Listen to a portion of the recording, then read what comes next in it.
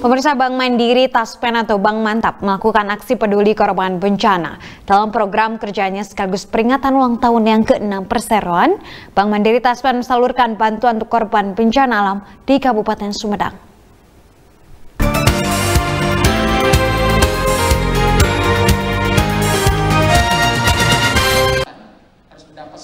Selain sebagai peringatan hari ulang tahun Bank Mandiri Taspen atau Bank Mantap yang ke-6, Bank Mantap juga memiliki rasa kepedulian kepada korban bencana alam di seluruh Indonesia.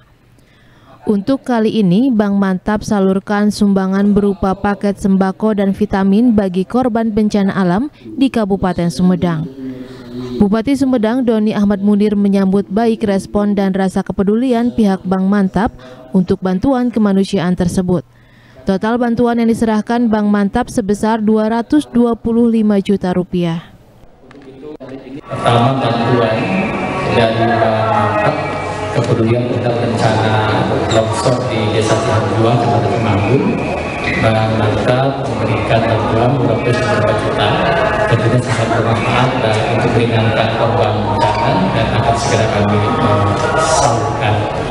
Yang kedua adalah kerjasama MOU antara Pemda dengan Bank dengan Taspen dengan Taspen berkaitan dengan eh, jaminan kecelakaan kerja dan dengan kematian bagi eh, non ASN ini sebuah ikhtiar bagaimana undang-undang negara kita ada sistem jaminan sosial nasional bisa melindungi seluruh rakyatnya tidak hanya ASN tapi non ASN untuk mewujudkan itu semua rakyat yang terlindungi pemerintah berkewajiban untuk melindunginya dan bekerja sama dengan PT Taspen terutama selain ASN jadi ketika masuk pada jaminan ini ketika celaka atau meninggal akan memberikan e, diberikan surat apa santunan haknya Sementara itu, Direktur IT dan Network Bank Mantap Owan Suroto mengatakan penyerahan bantuan tersebut adalah bentuk dari empati kepada sesama.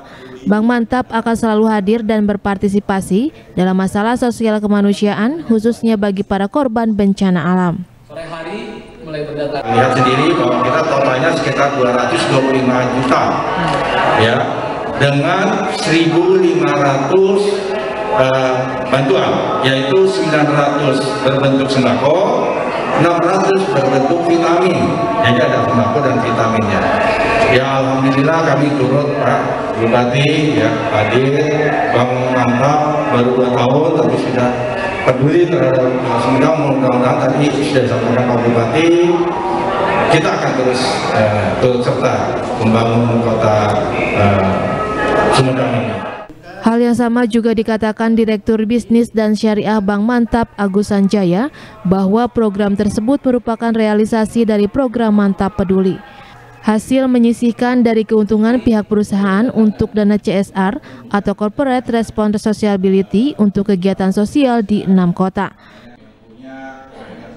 Dalam kesepakatan bersama dalam hal penanganan program JKK JKM selain pegawai ASN, nah hal ini non ASN ya.